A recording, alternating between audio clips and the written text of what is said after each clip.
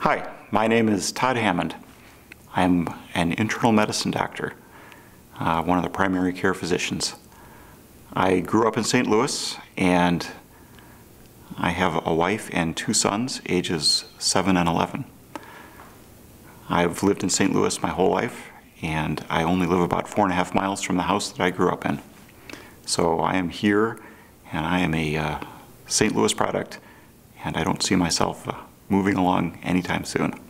As a primary care physician, I put an emphasis on prevention and early detection. I like to tell my patients we have lots of specialists who are willing to cut you open and put things in or take things out or rearrange things uh, as, as necessary. And I'm glad that we have those doctors. But for me, I like to tell my patients if you can see me a couple times a year, tell me you feel fine, maybe you don't even know why you're coming to see me, then I feel like I'm doing my job. I like to keep patients healthy and happy. Uh, if you feel like your physician is not doing that for you, then you need to think about who you want to be your physician, regardless of your insurance.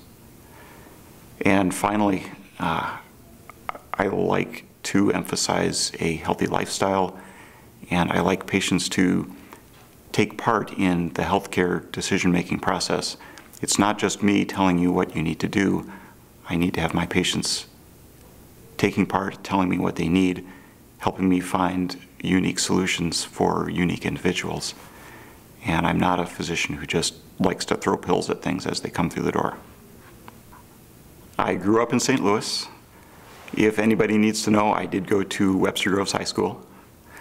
I did my medical school at University of Missouri and I did my training here in St. Louis. I've been in practice now for 20 years. Currently I have a practice in South County which I share with three other physicians and two physician assistants. I always knew that I wanted to be a doctor. My father was a physician as well. I've always enjoyed working with people and I've enjoyed finding solutions, especially creative solutions to unique problems.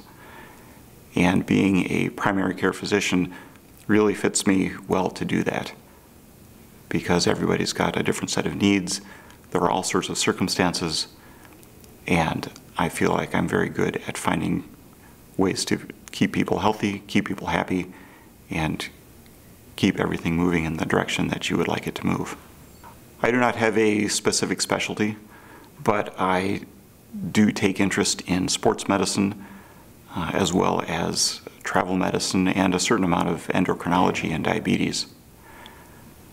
Primarily what I like to do is take an individual patient and find out what his or her needs are and find the best way to accomplish that. And if we need to bring in specialists to do that, then that's what we've got our specialists for.